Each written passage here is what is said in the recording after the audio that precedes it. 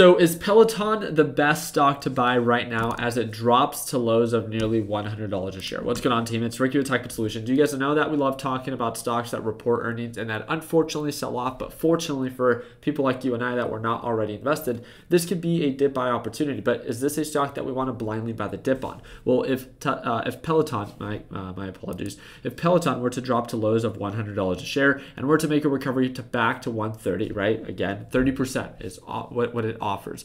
Peloton as of right now is down over 8% on the day.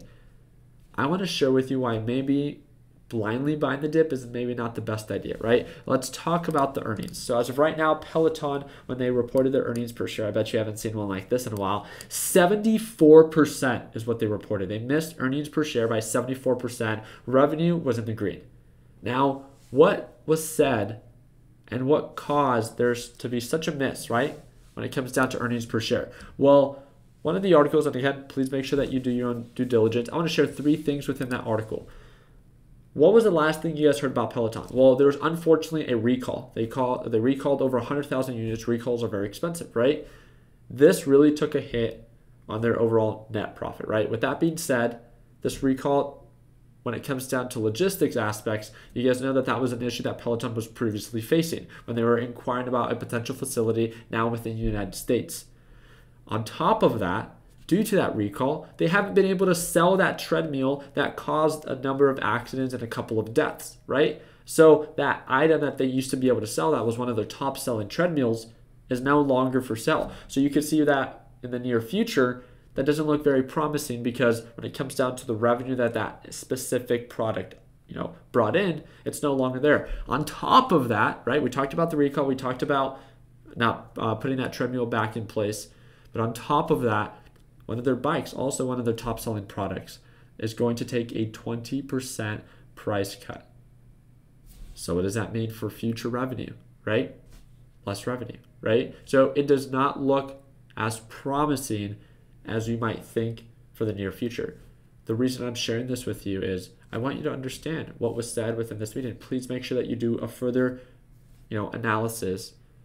And instead of blindly buying the dip, Peloton can, I mean, today's the first day that the market opened after it reported earnings. Peloton can still continue to sell off. So maybe being in a rush to blindly buy the dip is maybe not the best idea. And that's all I'm trying to share with you based off of what it is that I learned and what instilled fear in certain or current investors is that the future is unknown based off of how they're going to make up that revenue and again those treadmills that need to be put back into the market to be able to bring back that previous revenue that they had before um, again it, it's super interesting to look into Peloton to see how they did so well during the pandemic condition. If you guys look at the day chart, you can see that Peloton peaked right during late 2020 and early 2021. We've seen this a lot. And ever since then, it's been on a consistent pullback.